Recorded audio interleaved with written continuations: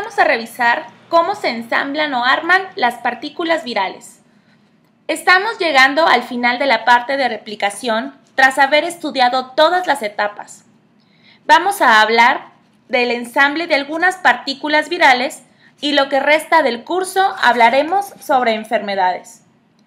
Para ilustrar los principios del ensamblado, utilizaremos algunos ejemplos como lo hemos hecho durante todas las clases. Hablaremos sobre los principios que gobiernan este paso en el ciclo replicativo del virus.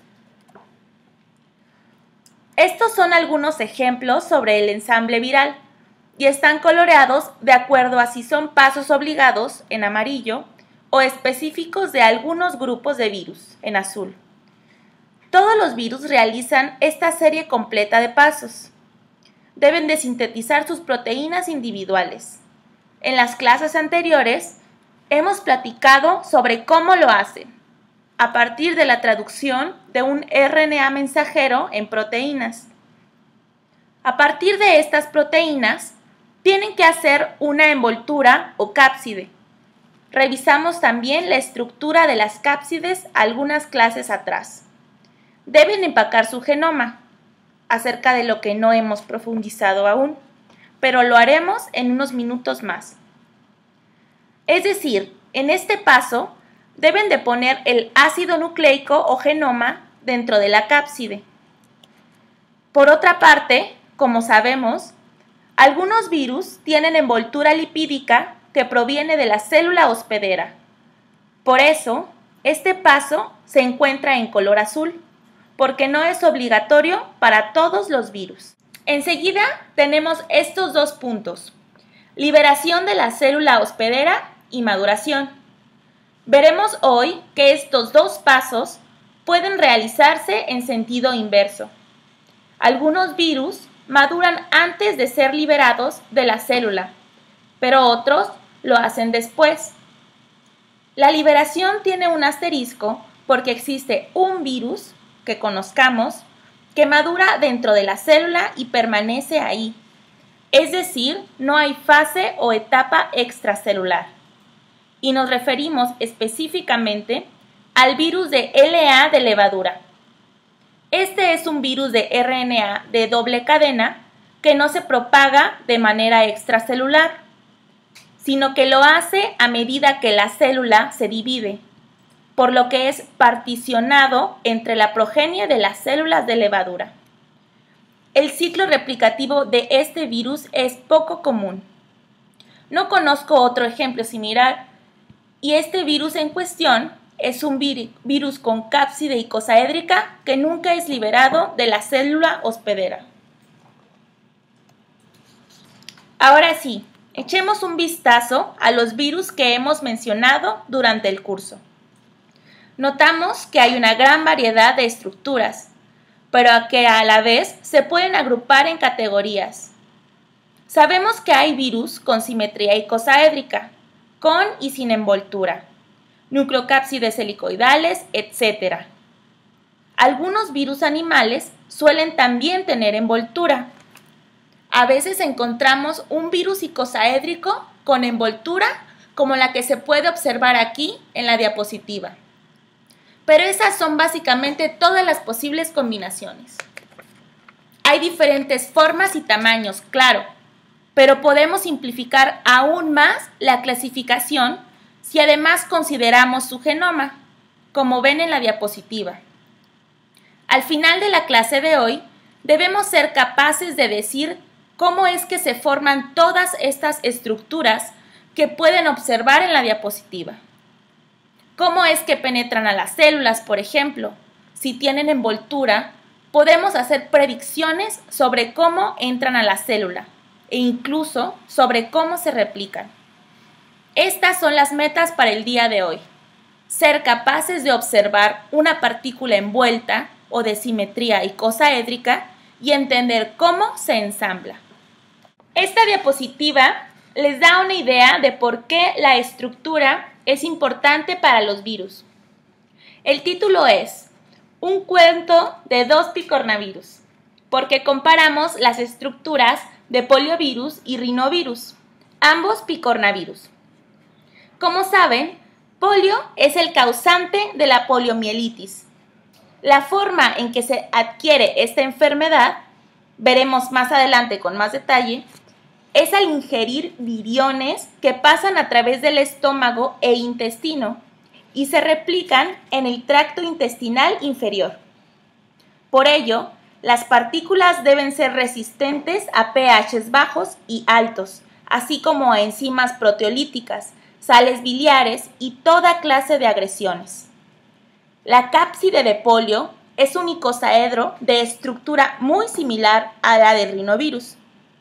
Sin embargo, si ustedes ingieren rinovirus, de hecho, cuando están resfriados lo hacen continuamente, como un mecanismo para eliminar a los virus, bueno, decía que cuando ingieren a los rinovirus, estos son inactivados al llegar a su estómago por el bajo pH e incluso si llegaran a pasar por el estómago, serían inactivados o, degradados por el alto pH del intestino delgado. Entonces, por un lado, la cápside de rinovirus es muy sensible a los cambios de pH, mientras que la de polio es muy resistente a los mismos. Sin embargo, si observaran ambas cápsides, no serían capaces de predecir estas diferencias biológicas. Obviamente, no son idénticas. Hay diferencias sutiles que les confieren estas distintas propiedades. Y bien, este es solo un ejemplo. Conforme hablemos de patogénesis, veremos varios más en donde la estructura del virus puede determinar el resultado o éxito de la infección. Esto nos lleva a un tema del que hablamos en las primeras clases, la metaestabilidad de los viriones. A lo largo de esta clase, recordaremos que conforme las partículas son ensambladas, deben de mantener la propiedad de ser metaestables. Es decir, las subunidades se mantienen unidas por enlaces no covalentes. Recuerden que las partículas virales deben de poder desensamblarse al entrar a la célula para liberar su genoma. Por ello, deben de ser metaestables. Son estables en el medio ambiente, como lo son los poliovirus en el tracto intestinal, y los rinovirus son suficientemente estables para ser transmitidos de persona en persona. Pero a la vez, las partículas deben de desensamblarse durante la infección. El punto más interesante del ensamblado es justamente que el proceso debe de ser reversible cuando el virus entra a la célula. Aunque suene contradictorio, en la célula que se fabrican las partículas virales, que es nuestro tema de hoy, el ensamble de las partículas no es reversible. Veremos más adelante que el proceso va en una sola dirección que conduce, que conduce el ensamblaje y es irreversible. Es muy distinto cuando la partícula está entrando a la célula, porque en este camino el virus encuentra e interacciona con receptores, existen también cambios de pH o algunos microambientes que alteran la estabilidad de las partículas. Como todos los aspectos de la replicación viral, el proceso de ensamblado depende, en cada etapa, de la maquinaria celular. Por ejemplo, algunas chaperonas celulares asisten el plegamiento de proteínas virales, ya sean proteínas de cápside o glicoproteínas virales.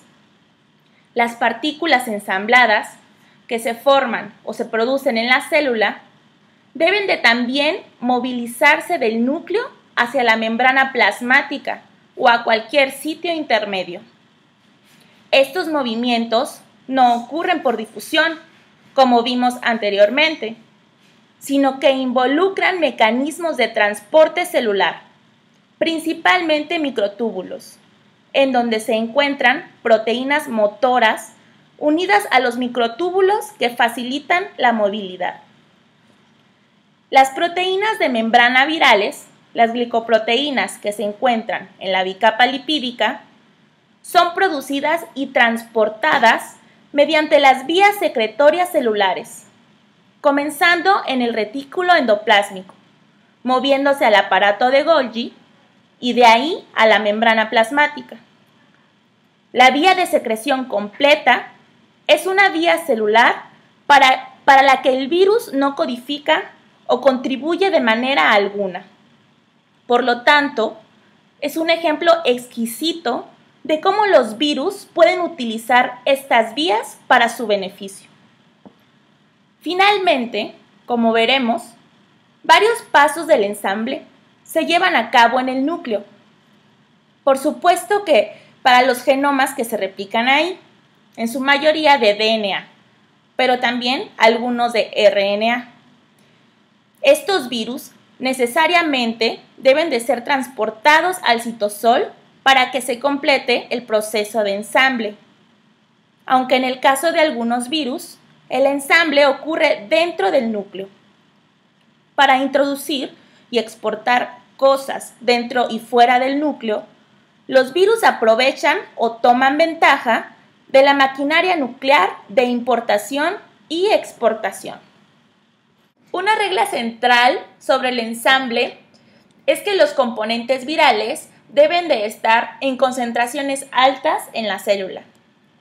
Lo anterior es porque a mayor concentración, mayor velocidad en el proceso.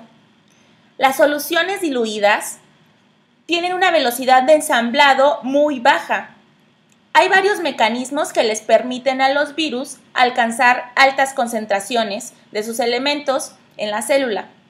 De ello hablaremos adelante y veremos el resultado o beneficio de la alta concentración, así como se forman estas fábricas o inclusiones virales en las células infectadas. Entonces, varios virus se replican y producen componentes en sitios muy específicos, no en todo el citoplasma, sino en sitios específicos. De hecho, hay un ejemplo aquí en la diapositiva que me gustaría mostrarles. Esta imagen corresponde a una célula infectada por el virus de la rabia. Las células infectadas con rabia tienen o se caracterizan por estas típicas inclusiones o agregados. Esta es la célula, en la que se pueden distinguir estas áreas circulares teñidas en el citoplasma. Estas zonas corresponden a inclusiones en donde se concentran los precursores del ensamble de los virus de la rabia. De hecho, este es un tipo de efecto citopático típico de la rabia. Las inclusiones son conocidas como cuerpos de Guarnieri y hace algunos años su identificación en células infectadas era la forma de diagnosticar rabia. Estos cuerpos no son más que regiones en las que se concentran los precursores del ensamblado y están en sitios específicos para facilitar y acelerar las reacciones. Porque como ya vimos antes, si se encuentran diluidos los componentes, el RNA y las proteínas en este caso, la reacción no se produce de manera eficiente. Esto ocurre también con virus no envueltos como el polio, como veremos adelante. Este utiliza membranas internas de la célula hospedera para concentrar sus proteínas y replicar su genoma. Todos los virus concentran sus componentes en regiones específicas para acelerar su ensamble. La pregunta ahora es, ¿cómo alcanzan estas altas concentraciones? Una de las estrategias es formar una fábrica, como dijimos antes. Concentran todos los precursores del ensamble en una fábrica o un tipo de sitio localizado. Esa es una forma muy común de hacerlo y les permite tomar ventaja o aprovechar lo que llamamos subensambles. Las partículas de varios virus son construidas en una serie de pasos secuenciales, como vamos a ver en unos minutos. Como analogía, cuando construimos o instalamos una puerta, primero se hace la puerta, se inserta la cerradura o la chapa, se ponen los paneles, los vidrios y después se une la puerta al marco.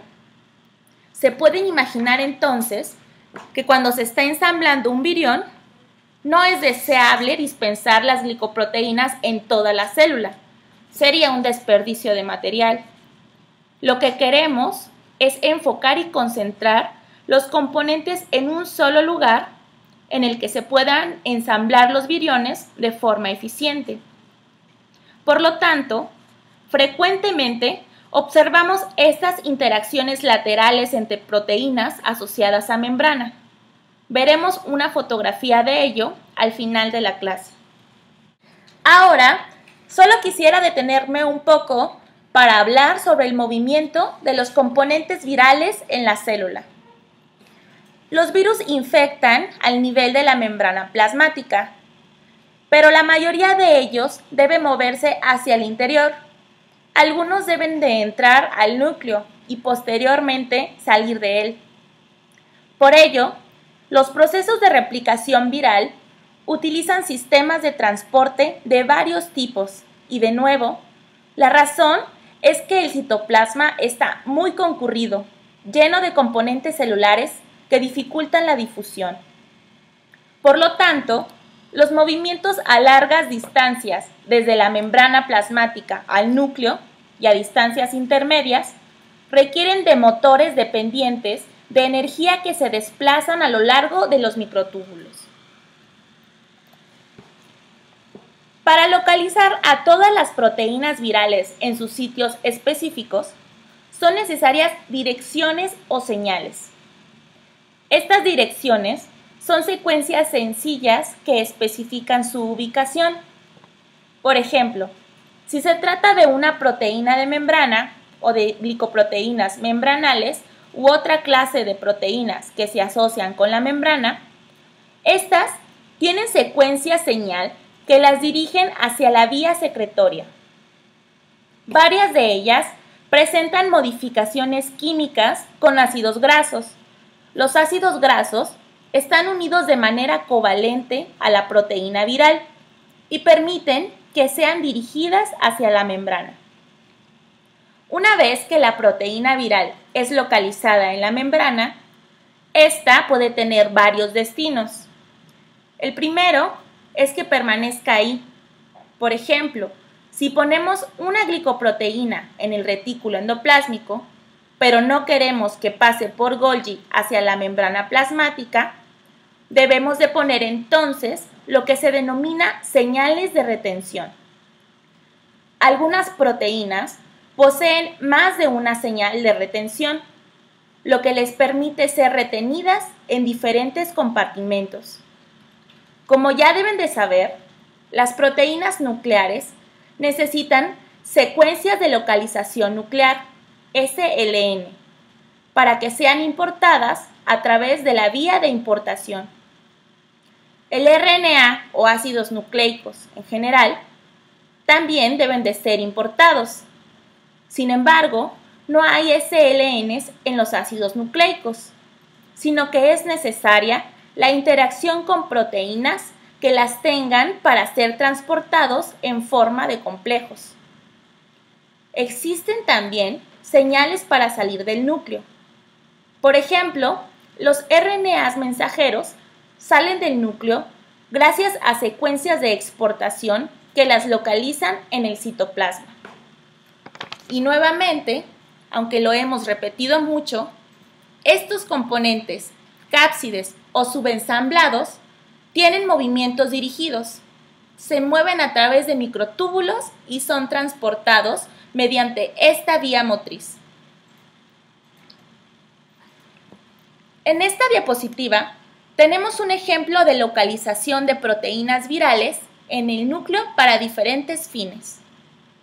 Y esta es una típica célula con, sus principales características, el núcleo y el citoplasma, que en esta ocasión no contiene muchos componentes, lo cual no es correcto, pero está hecho con propósito de fines didácticos. Por ejemplo, la nucleoproteína NP de influenza es traducida en el citoplasma, en ribosomas, claro. y esta nucleoproteína se unirá eventualmente a los RNAs virales que son sintetizados en el núcleo. Por lo tanto, esta proteína debe de ser importada al núcleo y para ello tiene una SLN que es reconocida por la maquinaria de importación nuclear, que hace posible su transporte al interior del núcleo. Tenemos dos ejemplos más aquí. Los adenovirus, grandes virus de DNA que replican su genoma y ensamblan viriones en el núcleo. Para que esto ocurra, todas las proteínas estructurales de adenovirus deben de ser importadas al núcleo. Como imaginan, todas ellas contienen SLNs. Aquí vemos dos componentes estructurales de adeno, el exón, que deben recordar es uno de los componentes mayoritarios de la cápside y la proteína de 100 kilodaltones. Ambas son enviadas al núcleo para participar en el ensamble. Veremos más de ello adelante. El segundo ejemplo del que hablábamos es el virus del polioma, el más pequeño de todos los virus de DNA. Estos virus tienen una cápside icosaédrica también, pero menos compleja que la de adenovirus. Aquí pueden observar las proteínas BP1, BP2 y BP3, que son traducidas en el citoplasma y después enviadas al núcleo en forma de subensamblados, que pueden observar aquí, conformado por cinco copias de BP1 y una copia de BP2 y BP3. Recuerden que éstas deben de tener señales de localización nuclear para poder entrar al núcleo, porque el DNA viral es replicado ahí y ahí es en donde se fabrican los viriones. Entonces, estos son ejemplos de la localización de proteínas virales que serán ensambladas en el núcleo. De manera similar, las glicoproteínas virales son ubicadas en la membrana plasmática mediante secuencias de localización. Por ejemplo, si el virus va a tener envoltura y la va a adquirir en la superficie celular, como veremos un poco más adelante, una de las primeras cosas que debe hacerse previo a la formación de partículas es que las glicoproteínas virales sean insertadas en la membrana plasmática. Al igual que los conglomerados del citosol, estas son ubicadas en sitios muy específicos, denominados parches, y no se encuentran distribuidas de forma uniforme en la superficie celular. Estas son glicoproteínas típicas que son producidas en la vía secretoria. Inicialmente se traducen en los ribosomas, unidos al retículo endoplásmico y son insertados en el lumen de este retículo. Lo pueden ver aquí en la diapositiva. Estas proteínas se encuentran ancladas a la membrana del retículo endoplásmico. Son proteínas transmembranales que posteriormente son enviadas a la membrana plasmática a través de una vía de secreción, que seguramente ya conocen a detalle. Pero en resumen, involucra el transporte de vesículas a través del aparato de Golgi y eventualmente hacia la membrana plasmática. Por lo tanto, estas glicoproteínas virales son capturadas en vesículas, vesículas que se fusionan en su camino a la superficie celular y terminan movilizándose a la membrana plasmática. De nueva cuenta, el movimiento de estas vesículas es dependiente de microtúbulos y en algunas ocasiones estas proteínas tienen un destino distinto a la membrana plasmática. Algunas son dirigidas de forma específica al retículo endoplásmico o al Golgi. En estos casos, deben de tener una señal de retención para permanecer en este compartimento adecuado. Aquí tenemos un ejemplo del movimiento de un subensamblado en microtúbulos. Lo que ven son nucleocápsides del virus de BSB, un virus de RNA con nucleocápside helicoidal que se replica en el citoplasma. El RNA de la progenie debe ser unido a la proteína de nucleocápside para conformar las ribonucleoproteínas helicoidales. Esto ocurre en el citoplasma, de donde tienen que migrar hacia la membrana plasmática para adquirir su envoltura lipídica. Entonces, los componentes virales deben de moverse y lo hacen, una vez más, mediante los microtúbulos. Este es un experimento que demuestra que el movimiento de componentes virales ocurre a través de microtúbulos.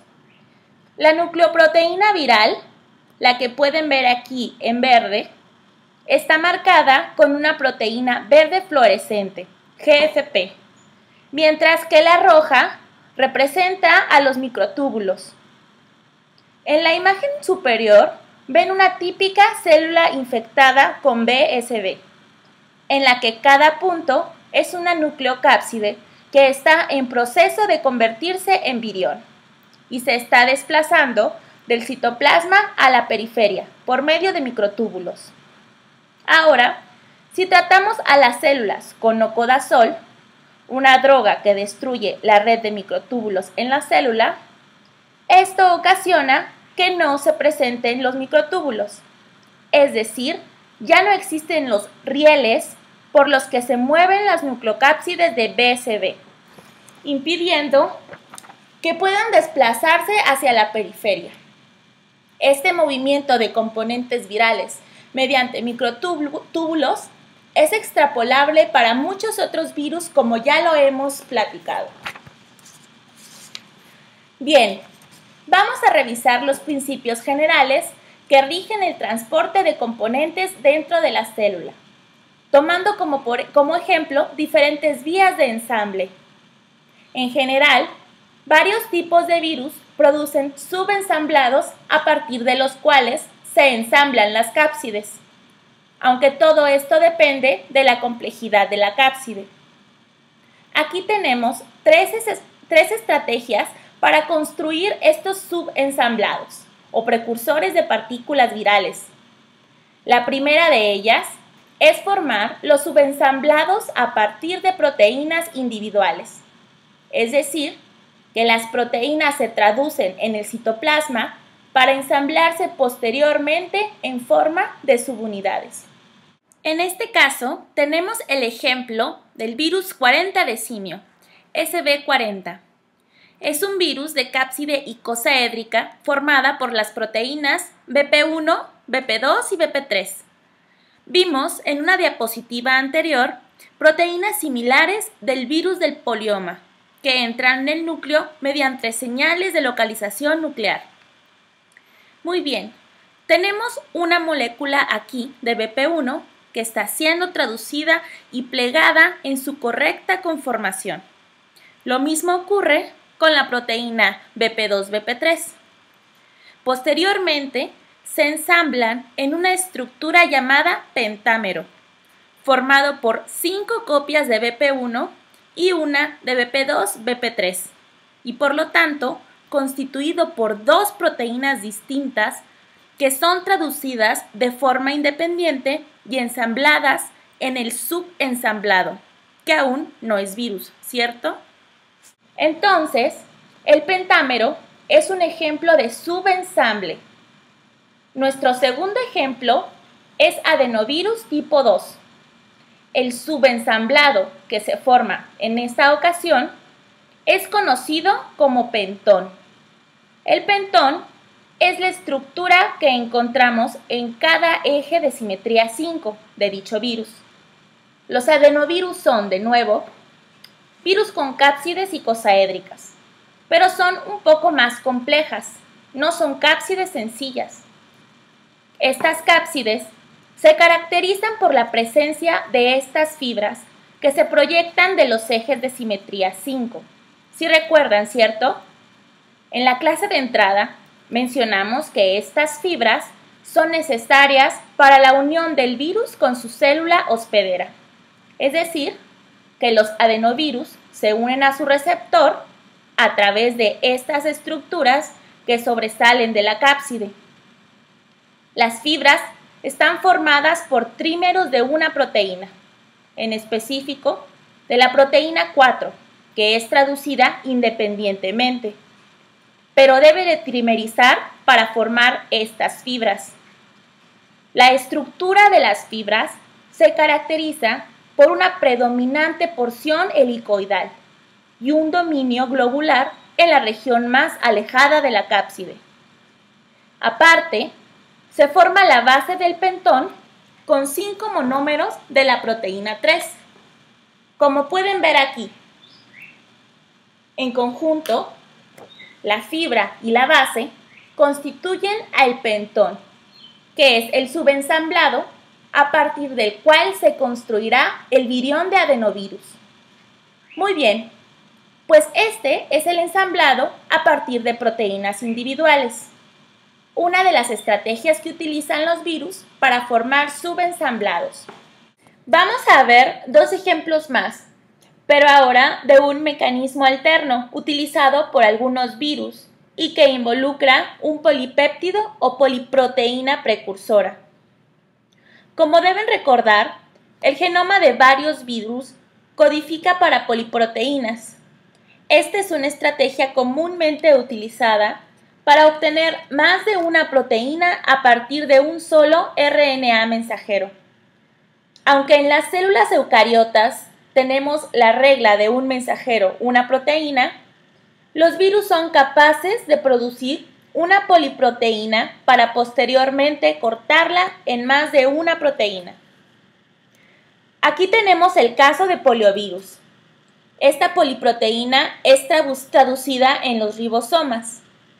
En la diapositiva podemos ver el RNA viral y de hecho la proteína que se sintetiza a partir de este RNA es cortada poco tiempo después de ser sintetizada. BP1, BP2, BP3 y BP4 son las cuatro proteínas que componen a la poliproteína y que deben ser escindidas para que el precursor se pliegue adecuadamente. Este precursor tiene toda la información necesaria para plegarse por sí mismo. No necesita de la asistencia de chaperonas. Si produjéramos este precursor en una célula, sería capaz de plegarse y eventualmente formar la unidad estructural.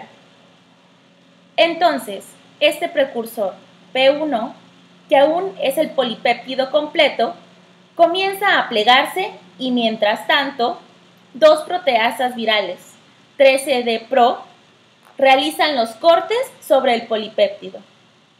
Esto favorece el plegamiento de las subunidades en lo que se conoce como precursor o subunidad estructural 5S.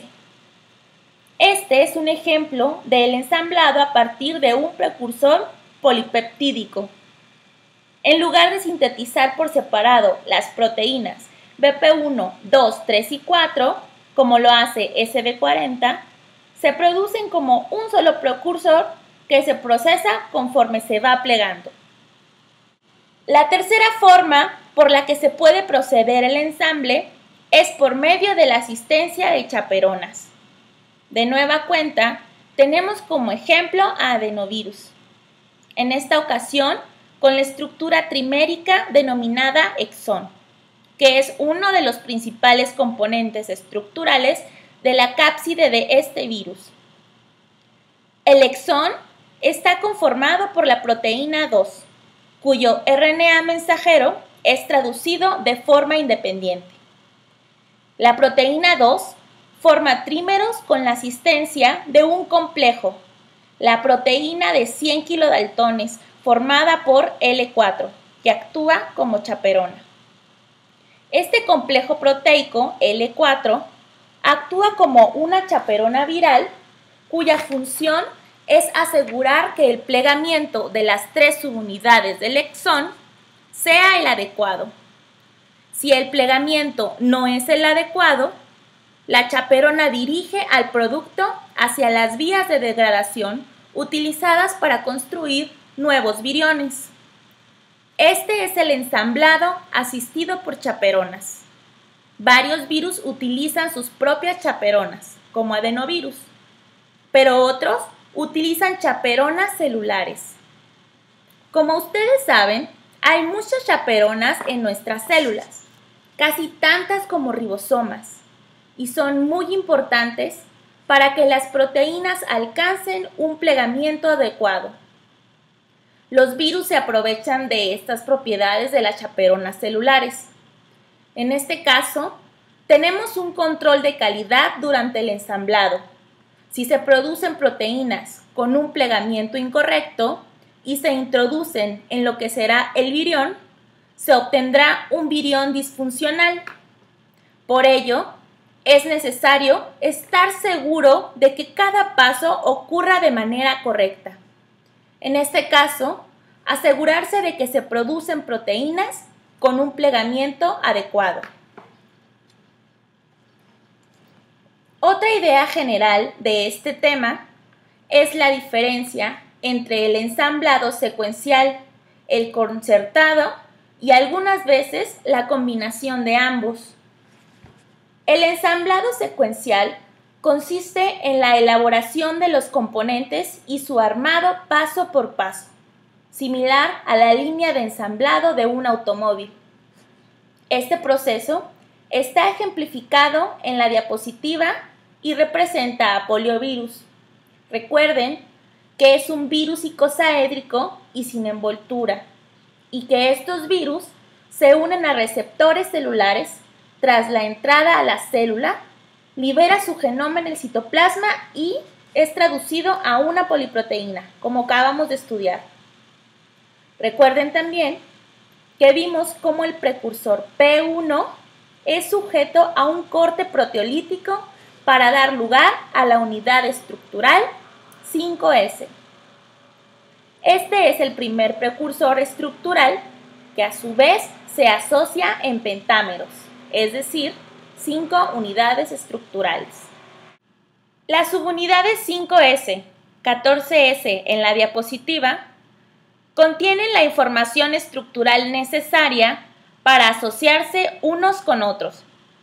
De hecho, en la célula infectada, estas subunidades pueden formar una cápside vacía, 75S en la diapositiva.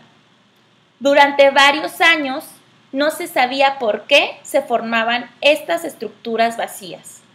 Se creía que eran un tipo de almacenamiento para un exceso de pentámeros, puesto que la formación de los mismos es una reacción reversible.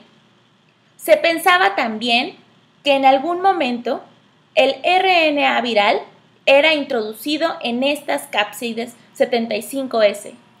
Sin embargo, Ahora sabemos que no hay manera de hacerlo, porque no hay una apertura por la que puedan introducirse el genoma. Lo que ocurre es que los pentámeros 14S se unen al RNA genómico, producido durante la replicación.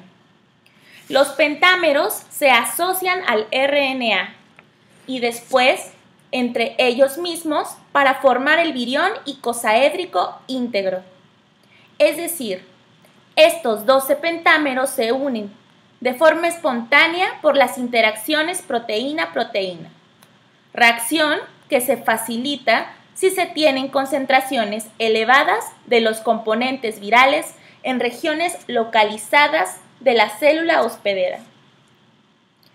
Una vez formado el virión, este es sujeto de un nuevo corte proteolítico entre BP2 y BP4, lo que resulta en una partícula infecciosa lista para ser liberada. No se sabe qué cataliza esa proteólisis, pero sabemos que solo ocurre cuando el RNA está dentro de la cápside. Este ejemplo de poliovirus ilustra el ensamblado en pasos secuenciales. Se forma el precursor 5S, luego 1,14S, y a partir de él se puede construir la cápside. Por cierto, estos números S provienen de hace muchos años. cuando se cuantificaban y separaban estos componentes, sobre todo componentes grandes como estos, y se refieren a su coeficiente de sedimentación en gradientes de sacarosa. Esto aún se hace. Se forma un gradiente de sacarosa en un tubo que, al centrifugarse, separa los componentes de acuerdo a su peso molecular, o mejor dicho, a su coeficiente de sedimentación. Fue así que surgieron estos nombres, 5, 14, 75 y 150S, que se utilizan aún de manera tradicional para describir los subcomponentes de poliovirus y de muchos virus. El bacteriófago con cola es otro buen ejemplo del ensamblado secuencial o en línea. La idea del ensamblado en línea tiene como finalidad que todos los componentes se hayan producido adecuadamente para que al final lo que se obtenga es un virión ensamblado de manera correcta. Es decir, si la puerta no es cuadrada, no va a ajustar en el marco del automóvil. O dicho sea de otra forma, si los componentes virales no son propiamente sintetizados, no podrán ensamblarse para formar un virión. Regresando al fago, pueden ver que tiene una cabeza en uno de sus extremos, la cual es una cabeza icosaédrica. Tiene también una cola y fibras que sobresalen de la cola. Todas estas estructuras se construyen independientemente y los números que ven en la imagen corresponden al gen o genes que dieron lugar a las proteínas que participan en cada paso. Por ejemplo, en este paso que se forma la cola y se encuentran representadas en la imagen, pueden ver la gran cantidad de genes que están involucrados. Son 17 simplemente para construir el disco inferior de la cola que anclará al fago a la célula hospedera durante la infección. Todos estos pasos son secuenciales. No puede realizarse este si no se completan todos los anteriores. La cola se asocia a partir de esta larga proteína central a la que se le añaden discos que se apilan uno sobre otro. Y de nuevo, si el o los discos no se encuentran en su conformación correcta, no podrán ajustarse a la proteína central. Y si la proteína central está desnaturalizada, tampoco podrá construirse la cola. Eso quiere decir que cada paso debe de dar lugar a un producto adecuado que permite el flujo del ensamblado. Lo mismo es válido para la cabeza y las fibras. Si no se forma una cabeza icosaédrica a lo largo de todos estos pasos de adición de proteínas y maduración, si la cabeza no está bien hecha, no se unirá a la cola. Lo mismo con las fibras. Estas que se forman a través de varios pasos de morfogénesis que concluyen con su unión a uno de los extremos de la cola.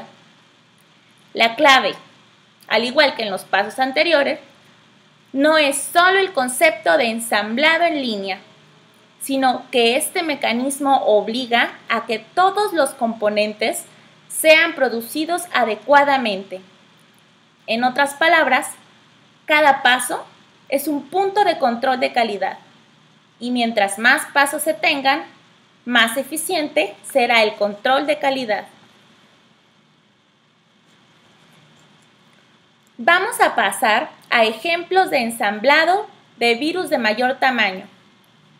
En esta ocasión tenemos al virus del herpes, que es un virus de DNA que se replica en el núcleo de la célula hospedera y cuyas partículas son ensambladas también en el núcleo. En una etapa tardía de la infección, encontraríamos un gran número de genomas virales a partir de los que se comenzarán a sintetizar proteínas estructurales. Esto en el citoplasma a partir de los RNA mensajeros que se exportaron al núcleo. Después, las proteínas estructurales deberán ser enviadas al núcleo a través de las SLNs para el ensamblado de partículas. Aquí se muestra el núcleo de la célula, junto con varias proteínas de herpes, que son necesarias para construir las cápsides. Pueden ver pentámeros y hexámeros de BP5. Recuerden que esta cápside es de mayor tamaño, por lo que tiene tanto pentámeros como hexámeros. Este es un requisito para construir cápsides de mayor tamaño pueden ver que también proteínas más pequeñas llamadas triplexes, que son BP23 y BP19C, cuya función es alinear la estructura de la cápside. También está representada la proteína del portal, UL6. Si recuerdan, cada virión de herpes tiene un portal que sirve como entrada para el DNA cuando se empaca pero también como salida durante la infección. Y ese portal se encuentra justo sobre uno de los ejes de simetría 5. Además, hay otras proteínas que desempeñan papeles muy interesantes. Las más interesantes son las que funcionan como andamio o como proteasas para desestabilizar el andamiaje. Esta cápside es tan grande que para que el ensamblado llegue a buen puerto es necesario un andamio o plataforma. Por eso, lo primero que debe ocurrir durante el ensamble de estas partículas es la formación de la llamada procápside a partir de los pentámeros y hexámeros de BP5. Esta procápside no corresponde a la cápside madura y se forma gracias al andamio de proteínas que se ven en el interior. Esto es diferente de la mayoría de los andamios o estructuras de soporte. Por ejemplo, en un edificio, el andamio está por fuera y los pisos se construyen en el interior.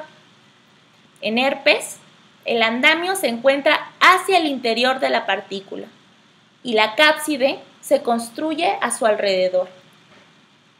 El andamiaje es necesario para apuntalar las proteínas en su posición final.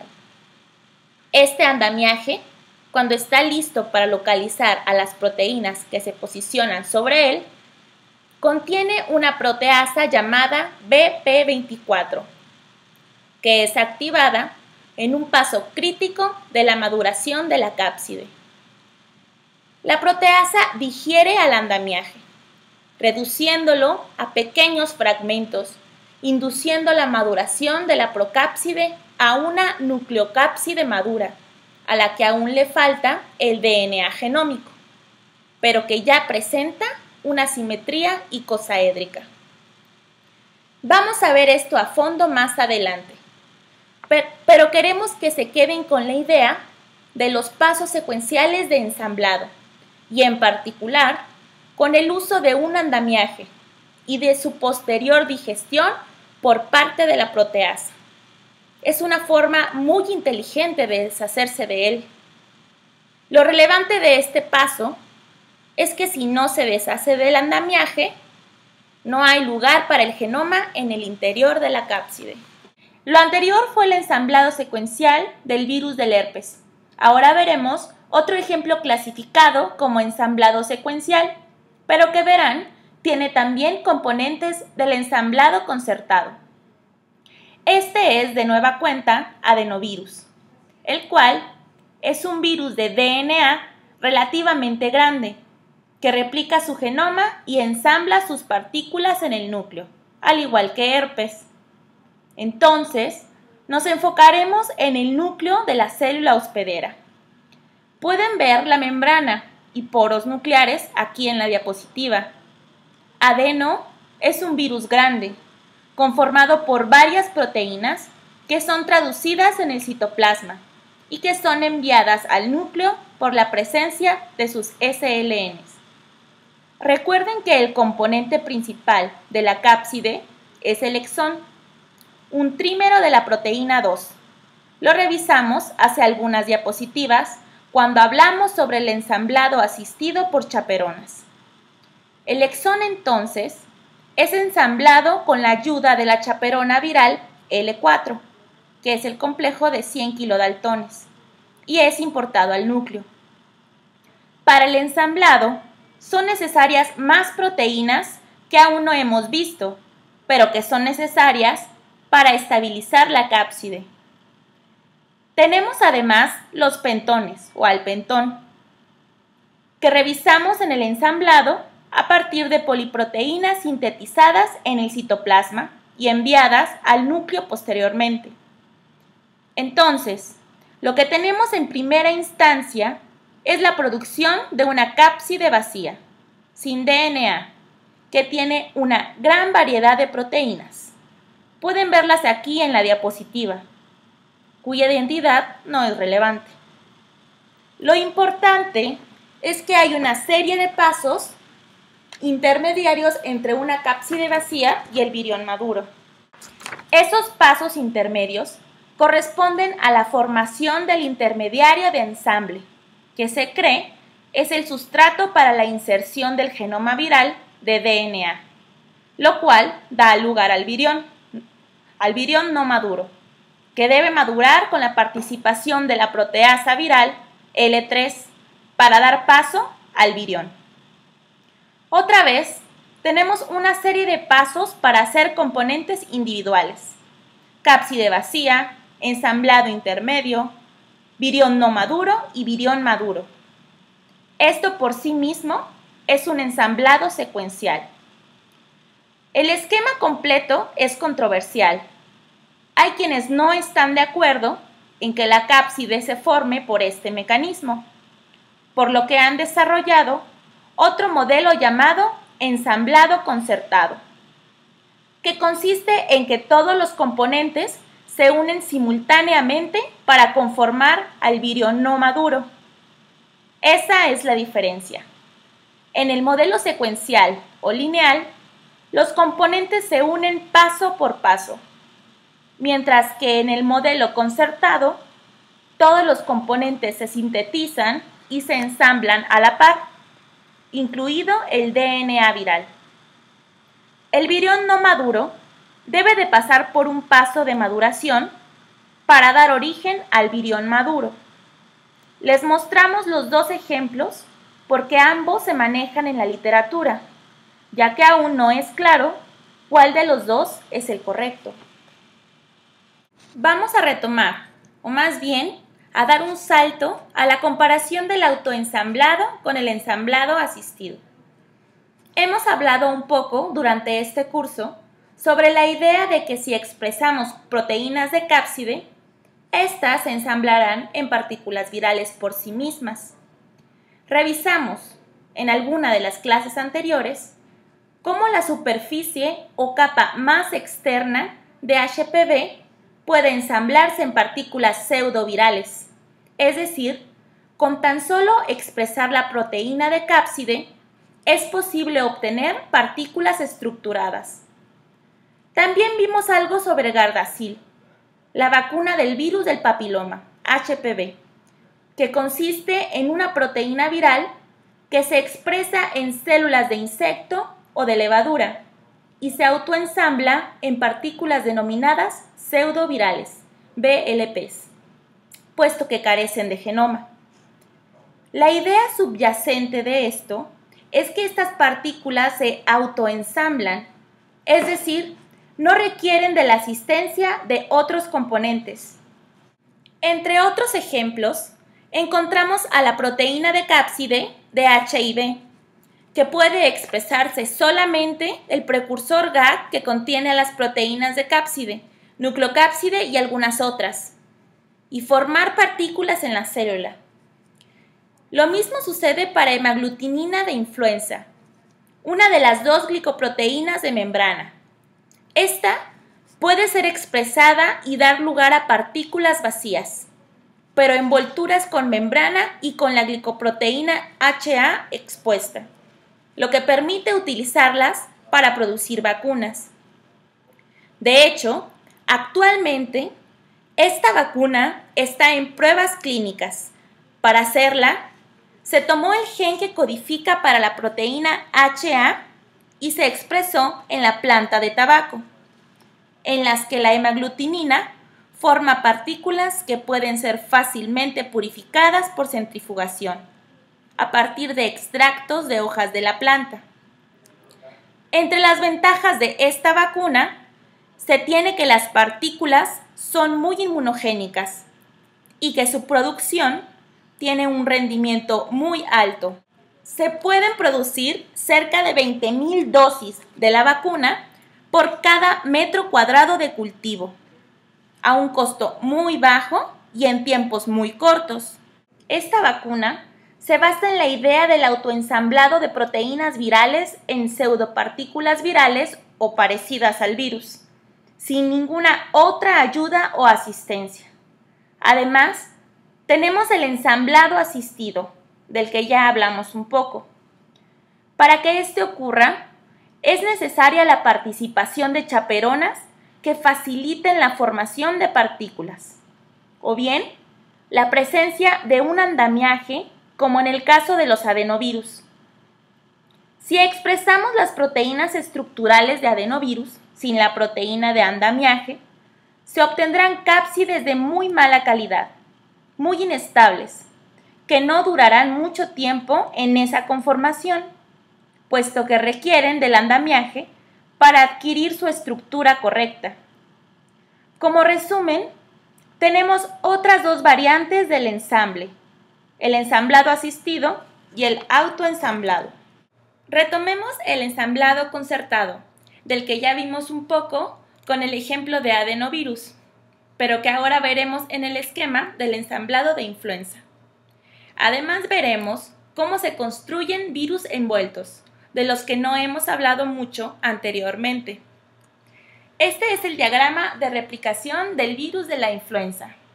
El genoma de este virus es RNA de cadena negativa segmentado y está unido a varias proteínas, es decir, forman ribonucleoproteínas capaces de producir mRNAs virales. Estos, al traducirse en el citoplasma, darán lugar a varias proteínas. Los mensajeros son traducidos en proteínas solubles o citoplásmicas, que se muestran aquí en la diapositiva, que para asociarse con el RNA viral deben de ser enviadas al núcleo. Otros RNA mensajeros codifican para tres proteínas estructurales del virión, dos glicoproteínas, Na y HA, y el canal iónico M2. Estos tres productos son transportados a la membrana plasmática por la vía secretoria, como se muestra en esta sección de la imagen. Esta vía permite que las tres proteínas sean localizadas y concentradas en regiones muy específicas de la membrana. Simultáneamente, se sintetiza la ribonucleoproteína o nucleocápside, que no es más que el RNA genómico unido a proteínas virales. Recuerden que el virión de influenza contiene 8 segmentos de RNA, cada uno asociado con cuatro diferentes proteínas. Los RNAs son replicados mediante un RNA intermediario de cadena sencilla, del cual se obtienen los segmentos negativos que conforman al genoma, es decir, de negativo a positivo y nuevamente a negativo, para posteriormente empacar los segmentos en el virión. En este caso, los RNAs que están en el núcleo deben de ser exportados al citoplasma. Pero para ello es necesario que se unan dos proteínas, M1 y NEP, o proteína de exportación celular. Ambas hacen posible la exportación del RNA, que de forma independiente no podría salir del núcleo. Tiene sentido que en este diagrama se muestre la importación de M1 y NEP al núcleo, pues su función es esencial en este paso. Las ribonucleoproteínas deben asociarse con la región de la membrana en donde se concentran las glicoproteínas virales. Hay algunas interacciones específicas que guían este proceso y hablaremos de algunas de ellas. Esta es, en gran parte, la razón por la que las glicoproteínas deben concentrarse en parches. No es deseable tenerlas dispersas en toda la membrana, porque las reacciones ocurren más rápido cuando la concentración de los componentes es alta. Ahora, la proteína representada en azul es M1. M1 se une a la ribonucleoproteína de la membrana y posteriormente el ensamblado completo comienza a gemar para formar un nuevo virión. El nuevo virión está rodeado de glicoproteínas que se estructuran como espigas de la partícula. Junto con la proteína M1 se muestran solo dos RNAs, por lo que pueden deducir que este en particular no es un virión completo. La cara interna de la membrana debe de ser cubierta con la proteína M1 para concentrar los ocho segmentos de RNA en esta zona específica. Este ejemplo es un ensamblado concertado, porque la partícula completa se forma en un solo paso, aunque en realidad está precedido de pasos secuenciales, como lo es la formación del complejo RNA con, proteínas. Entonces, la idea de este ejemplo es mostrar cómo se construye un virión en un paso concertado durante el proceso de gemación. Esto es algo que ocurre para varios otros virus y puede ocurrir en diferentes membranas de la célula, no solo en la membrana plasmática. Muy bien, ahora veamos con mayor detalle a la molécula de HA, cómo es sintetizada y ensamblada en los viriones. HA, como saben, es la abreviación de hemaglutinina, sobre la cual vamos a tratar nuevamente más adelante cuando hablemos sobre aspectos biológicos de los virus. HA es una de las glicoproteínas del virus. La otra es la neuraminidasa, que se encuentra en la membrana o envoltura viral. HA forma trímeros en la membrana y se proyecta hacia el exterior, recordándonos que es la responsable de la interacción con receptores celulares. En el extremo o punta se encuentra el sitio de unión a ácido ciálico, mientras que cerca del extremo opuesto oculto cerca de la membrana, tiene un péptido de fusión, que permanece oculto hasta que cambia el pH y causa cambios conformacionales, que lo exponen y permiten la función del virus con el endosoma celular. Aquí tenemos la representación esquemática de la proteína HA. Este es un monómero de HA y pueden ver que es una glicoproteína transmembranal esta es la membrana, que tiene una pequeña porción en el citosol, o lo que será el interior del virión. Las Yes representan azúcares o glicanos unidos a la proteína. Y los enlaces disulfuro están representados en amarillo. Estos contribuyen o son parte importante para determinar y mantener la estructura de la proteína. Muy bien, Regresando al péptido de fusión, quiero hacer énfasis en que tiene que ser expuesto para que el virus pueda fusionarse con los endosomas. Y esta exposición solo ocurre tras un corte que se realiza en esta, en esta región. Este corte libera la porción N-terminal de tal forma que cuando el pH cambia en el endosoma, el péptido de fusión se expone y puede insertarse en la membrana del endosoma. El corte que expone al péptido señal es realizado por proteasas celulares. Ahora, aquí pueden ver por qué tras el corte proteolítico los dos fragmentos resultantes permanecen unidos. Y la razón es la presencia de este puente disulfuro. Es decir, tras el corte del péptido de fusión, se expone pero no se libera la porción N-terminal, sino que permanece unida por el puente disulfuro que ven aquí. La porción N-terminal contiene la secuencia señal para ser introducida en la vía secretoria. Esta porción es removida en el retículo endoplásmico por la acción de las señalasas.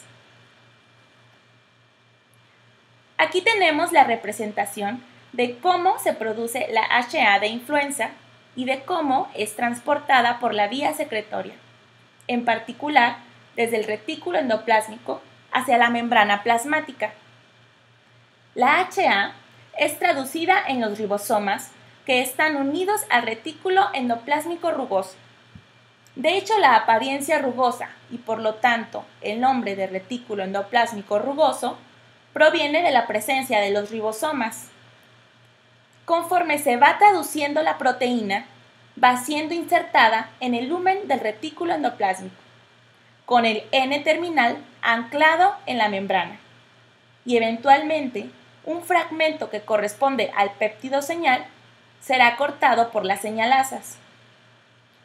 En el panel superior derecho pueden observar a la proteína madura después de ser traducida pueden distinguir su, porción citoplásmica, transmembranal y lo que será el poro de HA en el interior del virión.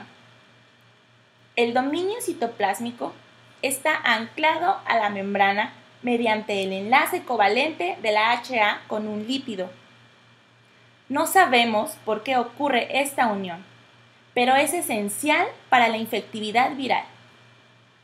Estas glicoproteínas son transportadas por la vía secretoria a través de vesículas a lo largo de la red del aparato de Golgi y conforme avanzan en su trayecto, son oligomerizadas y glicosiladas, como podemos ver en la diapositiva. Varios glicanos son unidos en diferentes compartimentos de Golgi. Los azúcares o glicanos son esenciales para un plegamiento adecuado, es decir, funcionan como control de calidad del plegamiento y en consecuencia de la oligomerización de la HA. En algunas células, la HA puede ser cortada hacia el final de la vía secretoria en donde el pH es neutro, a diferencia del inicio de la vía en donde el pH es ácido.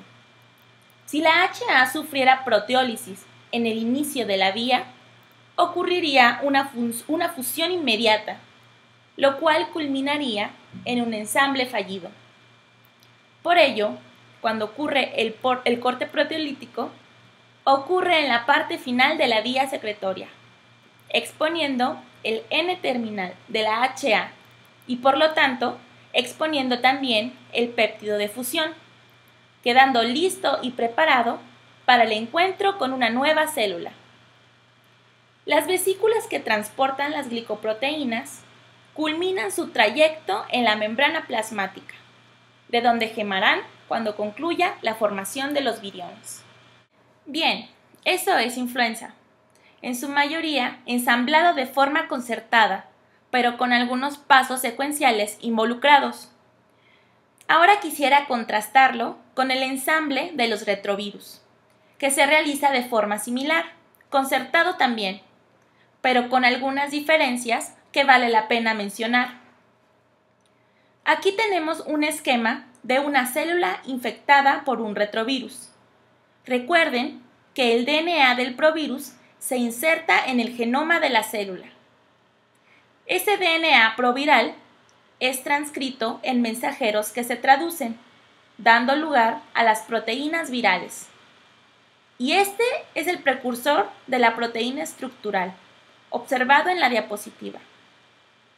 El genoma viral es transcrito a partir del DNA proviral y como deben de recordar, es el RNA el que es empacado en los viriones en forma de dímero. Por ello, ven aquí dos cadenas positivas de RNA dentro de la partícula en formación. Lo que ocurre es que el RNA sale del núcleo y se une en el citoplasma con la proteína con la proteína de nucleocápside, que es esta proteína de aquí en color blanco. Esta proteína es una proteína de unión a RNA, que a su vez se une con las proteínas de cápside y de la matriz, además de con otras proteínas del término carboxilo del precursor. Todas estas proteínas forman un complejo precursor que se une al RNA y lo dirige hacia la membrana plasmática, en donde se encuentran insertadas las glicoproteínas virales TM y SU, que fueron transportadas por la misma vía secretoria que la proteína HA de influenza. Entonces, existen señales específicas para la unión del precursor con el RNA y para dirigirlo, tras la unión, hacia la membrana. Esta última interacción ocurre entre la proteína matriz y la glicoproteína, ambas virales. Hasta este punto, tenemos RNA con proteínas de nucleocápside, cápside y matriz, que pueden ver alineadas sobre la membrana. Solo algunas de estas subunidades interaccionan con el RNA, pero la mayoría no lo hace, porque solo se necesitan dos copias de RNA por virión. De esta forma, una vez que se tienen dos RNAs, las otras subunidades que son reclutadas corresponden al precursor o matriz de la cápside, sin RNA. En este momento, el virión comienza a gemar. Aunque tenemos un virión en gemación con sus dos... En este momento, el virión comienza a gemar. Aunque tenemos un virión en gemación con sus dos RNAs, proteínas de cápside, nucleocápside y matriz, aún falta reclutar tres proteínas esenciales en la cápside para la infección. La retrotranscriptasa, la integrasa y la proteasa viral. Aunque su síntesis no está representada en esta diapositiva, deben recordar que estas proteínas se sintetizan como una, una fusión GAC-POL. Solo en caso de que se suprima la terminación en ribosomas o haya cambios en el marco de lectura, se obtendría la fusión GAC, que carece de la transcriptasa inversa, la RNasa H e integrasa. La fusión GAC-POL está representada aquí y pueden ver a la proteína matriz que dirige a la fusión o complejo hacia el sitio de gemación. De esta manera se incorporan la retrotranscriptasa, la integrasa y la proteasa, que es esta proteína amarilla. Ahora sí, tenemos un virión con sus dos cadenas de RNA, cerca de 100 moléculas de transcriptasa reversa y proteasa por virión, que continúa gemando hasta liberarse de la célula. Sin embargo, este no es aún un virión maduro. La proteasa empacada en el virión tiene como función llevar a cabo los últimos pasos de la maduración, que consiste en cortar varios de los precursores en sitios específicos para dar origen a la estructura final, que se puede observar en la diapositiva.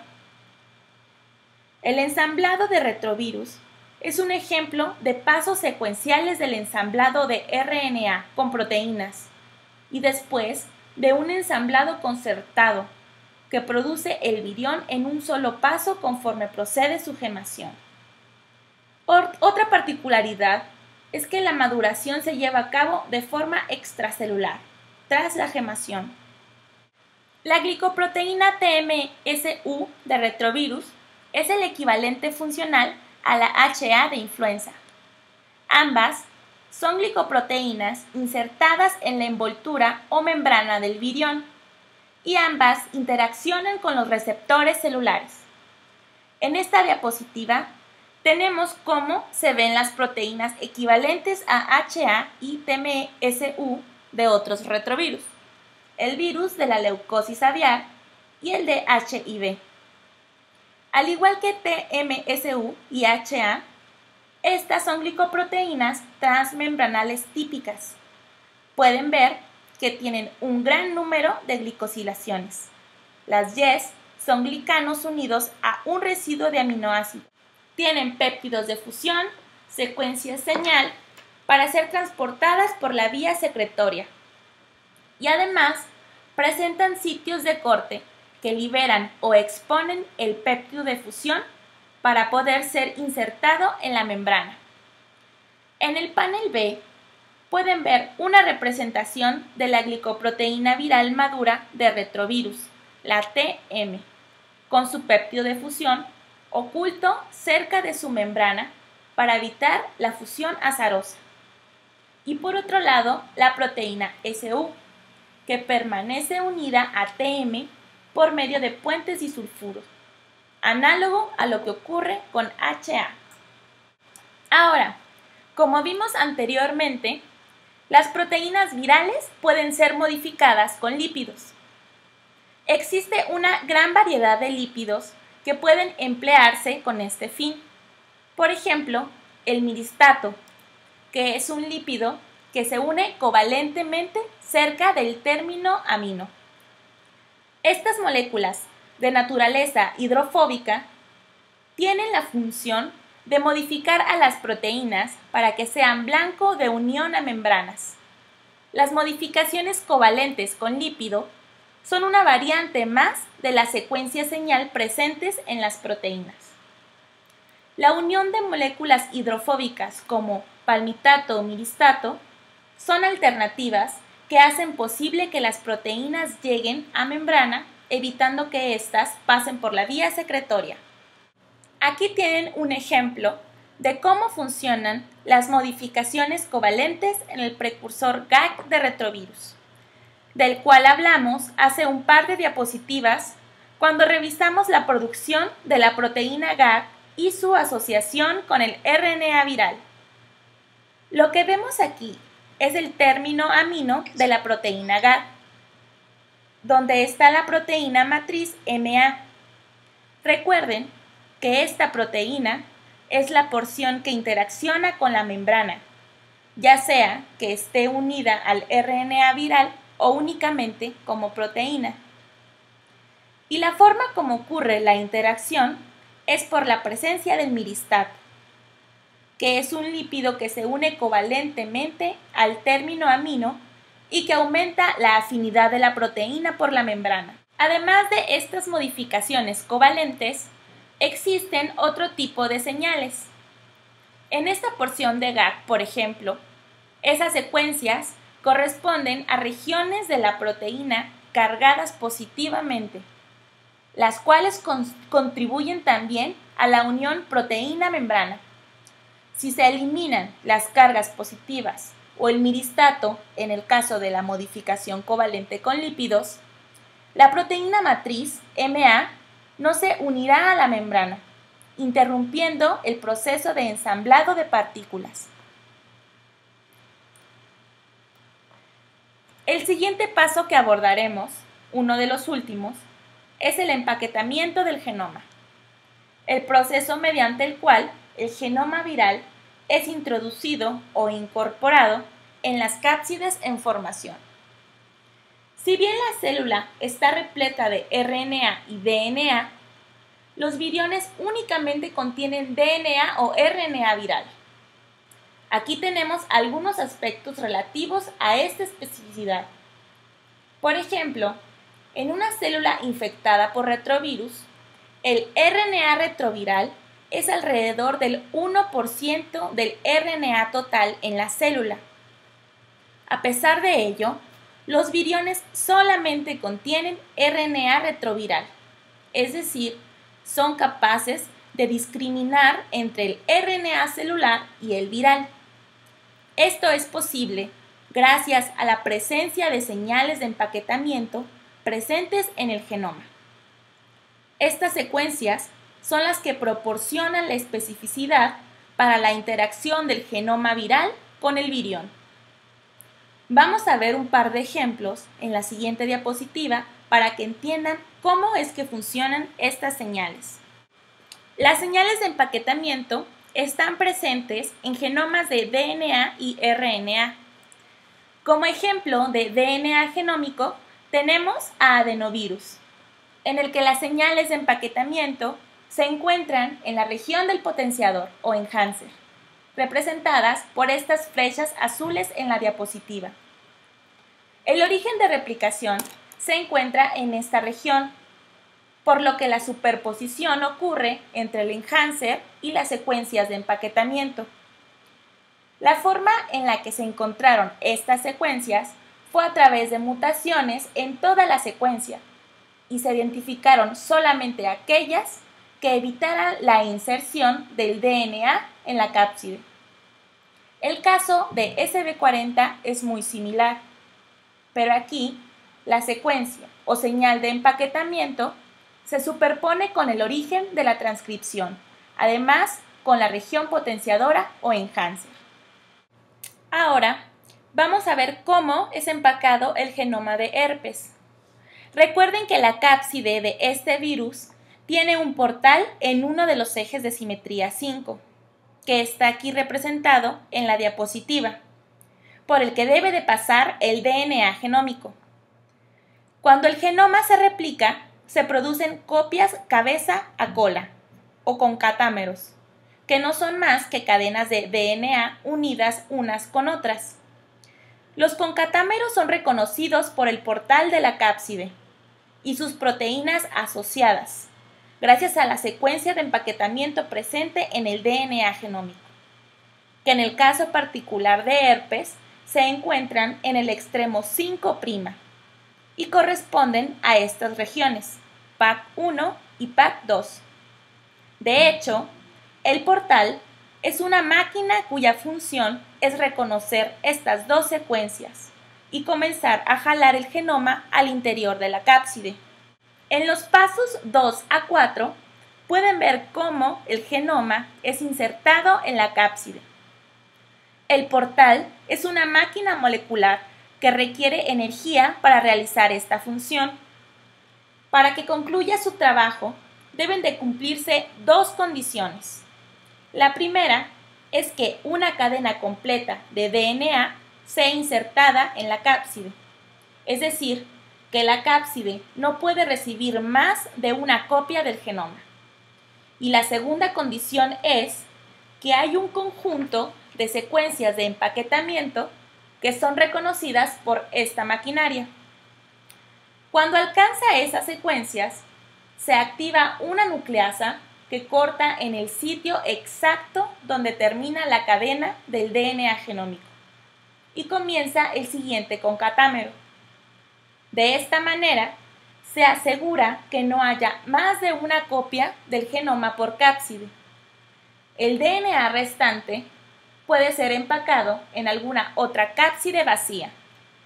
En resumen, existe un motor molecular llamado portal que reconoce las secuencias de empaquetamiento e inserta una unidad de DNA genómico en cada cápside de virus del herpes. Los virus de RNA también tienen señales de empaquetamiento. Existen algunas señales de empaquetamiento para retrovirus. Aquí en la izquierda de la diapositiva tenemos a la señal de empaquetamiento para el genoma de HIV. En el extremo izquierdo se encuentra el LTR3'. Continuo a este LTR está una parte pequeña que consiste en un RNA altamente estructurado, llamado secuencia SIN, y es representado en rojo. Cuando se tienen dos secuencias de este genoma juntos, recuerden que este genoma se empaqueta en dímeros. Estas secuencias sí forman un complejo llamado el beso de las asas, en donde se hibridizan y son el sustrato para el empaquetamiento. Veremos cómo es que esto funciona en un minuto.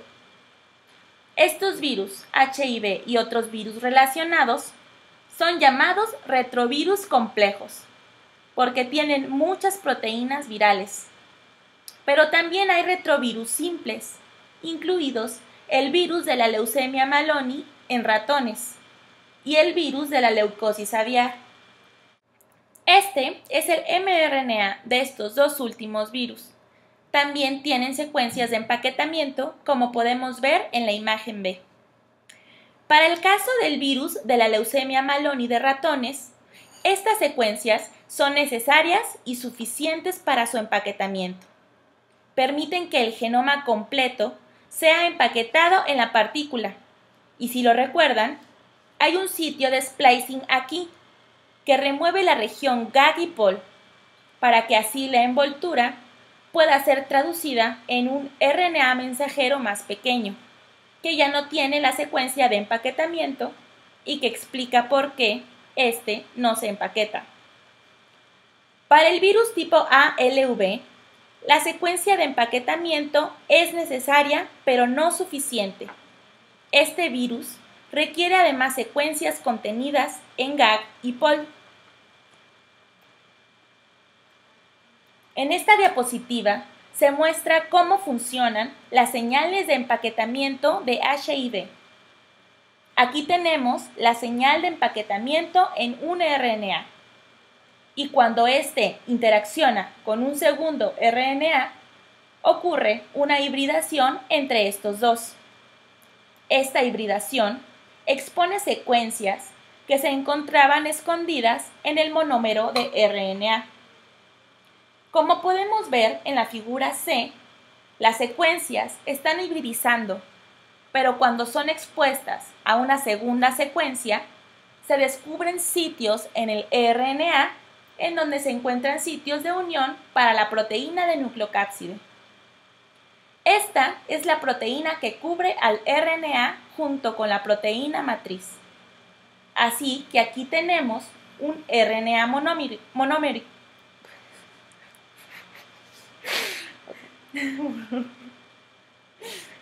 Así, así que aquí tenemos un RNA monomérico. Posteriormente, dos RNAs forman una estructura que expone el sitio de unión a NC. Entonces, la proteína de nucleocápside empieza a interaccionar con el RNA genómico. Como aprendimos hace algunas diapositivas, las proteínas NC, matriz y cápside son atraídas al virión en gemación, en conjunto con el RNA, y es así como sucede. La proteína NC se une específicamente a una estructura presente en el RNA dimérico genómico. Para virus con cápsides icosaédricas existe un límite de empaquetamiento típico, Usualmente es de 5 a 10% más grande que el genoma. Así que para poliovirus, por ejemplo, no pueden...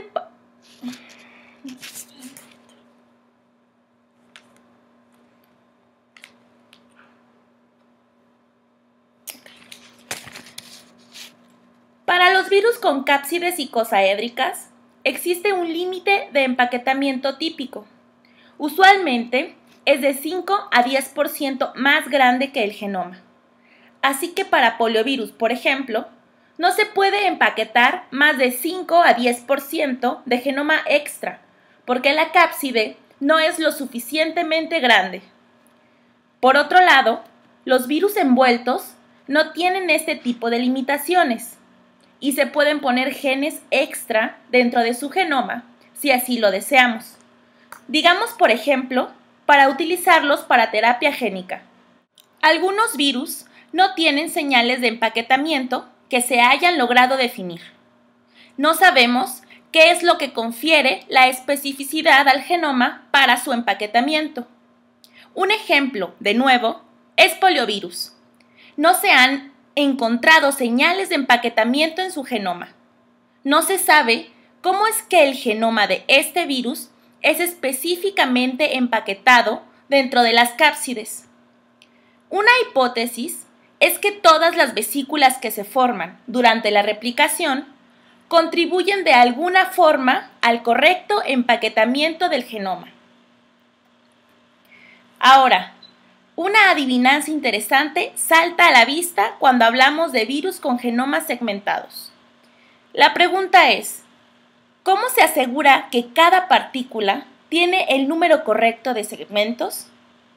Por ejemplo, el virus de influenza tiene 8 segmentos distintos de RNA. ¿Y cómo es que se asegura que cada partícula nueva posea los 8 segmentos correctos? tenemos dos ideas. Una es que se tomen ocho segmentos aleatoriamente en la célula infectada. Si esto ocurre, estadísticamente terminaríamos con solamente una partícula correcta por cada 400 ensambladas. Esto sucedería empaquetando aleatoriamente ocho segmentos distintos. Y esa es la infectividad promedio de influenza, una de cada 400 partículas. Si se permite el empaquetamiento de más de 8 segmentos, como por ejemplo 12, los números aumentan en un 10%, lo que es mucho mejor. Y algunos investigadores han encontrado que algunas partículas tienen segmentos extra, es decir, no solamente poseen 8.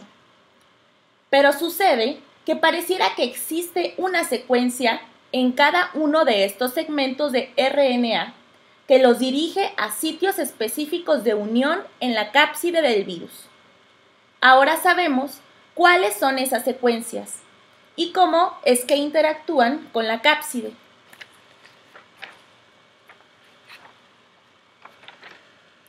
La idea es que cada segmento de RNA de influenza tiene una secuencia específica que les permite ser incorporados dentro del virión. En apoyo a esta teoría está esta micrografía electrónica de los virus de influenza podemos ver que hay un arreglo regular de estos segmentos, lo que sugiere que existe un mecanismo específico de incorporación. Si los segmentos de RNA fueran colocados aleatoriamente, no esperaríamos ver este arreglo estructural.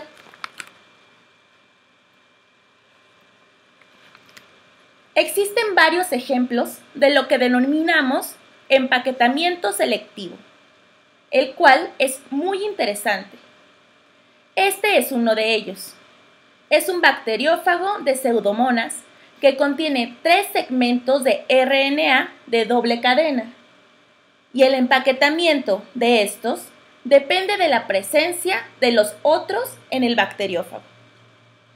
Así que el primer segmento que se empaqueta en la cápside es el segmento S y es el único que puede empaquetarse por su propia cuenta.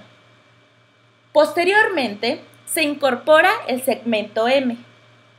M solamente puede empaquetarse si S está presente. Y finalmente, el segmento más largo puede incorporarse solamente si S y M están presentes.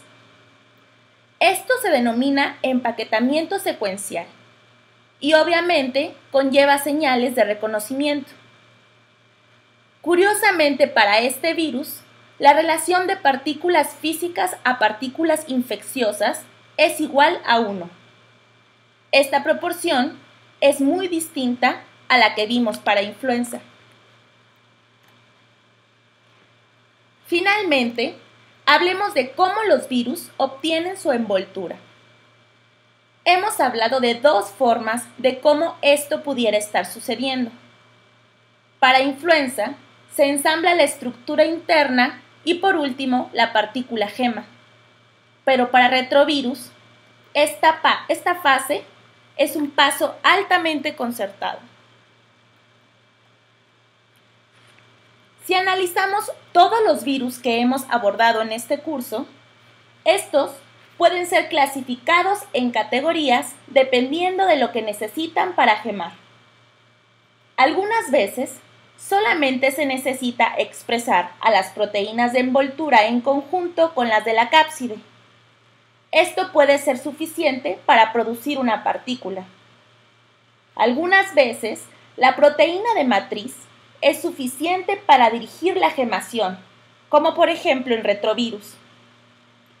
Otras veces, las proteínas de envoltura son suficientes, como en coronavirus e influenza. Con estos virus podemos obtener partículas solamente expresando a la proteína de envoltura. Otras veces, la proteína de matriz es capaz de dirigir el proceso de gemación. Pero se necesita además otro componente. Más componentes virales para lograr de forma eficiente y precisa el evento de gemación. ¿Por qué es importante esto? Si vamos a diseñar una vacuna basada en una pseudopartícula viral, tenemos que asegurarnos que obtendremos la correcta gemación viral. Este ejemplo ya lo hemos mostrado. Aquí los componentes de la partícula de influenza fueron sintetizados por separado, luego ensamblados dentro de la partícula en gemación. Así que están ensamblados espacial y temporalmente separados. Todas las señales que dirigen a la proteína M1 son regiones de unión al lípido.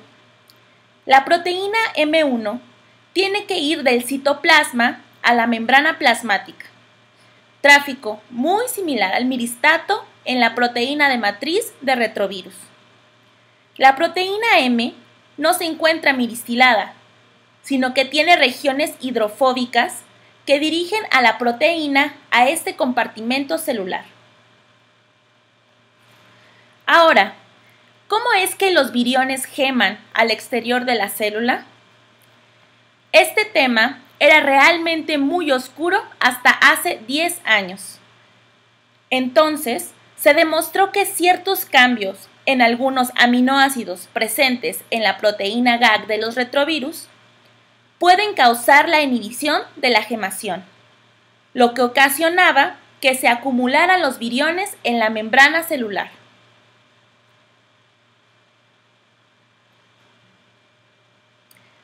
Así que un solo cambio de aminoácidos en la proteína GAG era capaz de bloquear la salida de virus de la célula hospedera.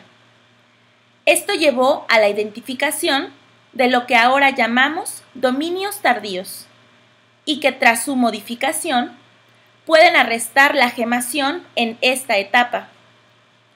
Resulta que todos estos dominios tardíos que se encuentran en muchos virus envueltos interaccionan con proteínas celulares que se necesitan para la gemación viral. En la diapositiva les mostramos algunos retrovirus y filovirus, ébola y Marburg, rhabdovirus y arenavirus. Todos ellos tienen dominios tardíos en sus glicoproteínas. Estos son los genes de las glicoproteínas. Los dominios tardíos son las áreas que al cambiarlos o eliminarlos detendrán la gemación en las etapas finales de la liberación del virión. Lo que estos dominios hacen es unirse a una serie de proteínas celulares componentes de la maquinaria de Skert. Estas proteínas participan en procesos de fusión membranal en distintas vías celulares.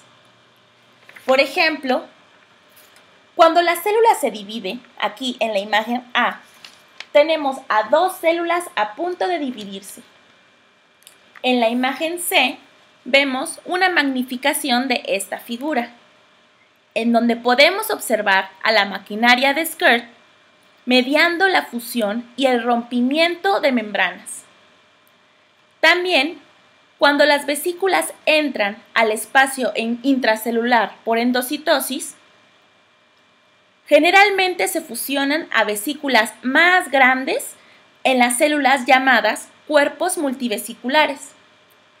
En la imagen B podemos ver cómo, que, cómo se encuentra también mediando esta fusión para la generación de este compartimento celular.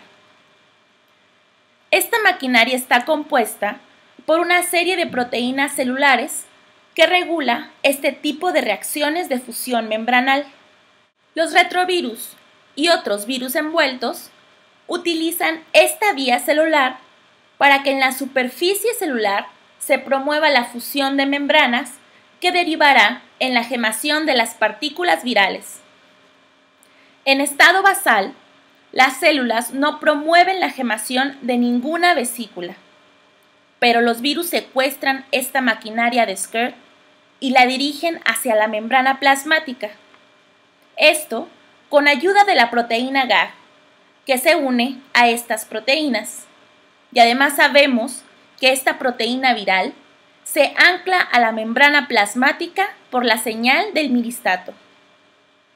Muy bien. Una vez localizada la maquinaria de SCIRT en la membrana plasmática, esta orquesta la gemación de los virus al exterior de la célula. Es sorprendente cómo es que los virus secuestran a un complejo proteico tan grande como la maquinaria de SCIRT y cómo es que la utilizan para algo totalmente distinto a sus funciones regulares en la célula hospedera. Ahora, cuando los virus geman, pueden hacerlo de distintos lugares.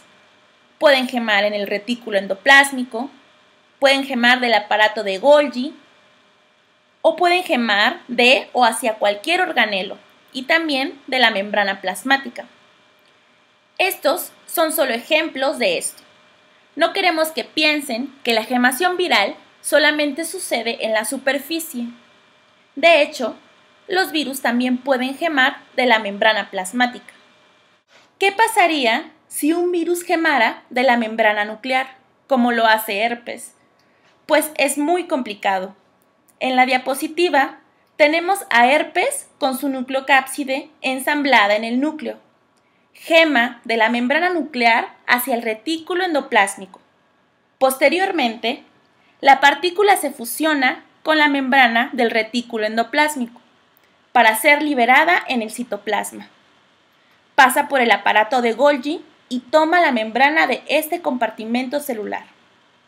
Después, gema del Golgi y toma una segunda membrana. Por último, la partícula con dos envolturas lipídicas se fusiona a la superficie celular.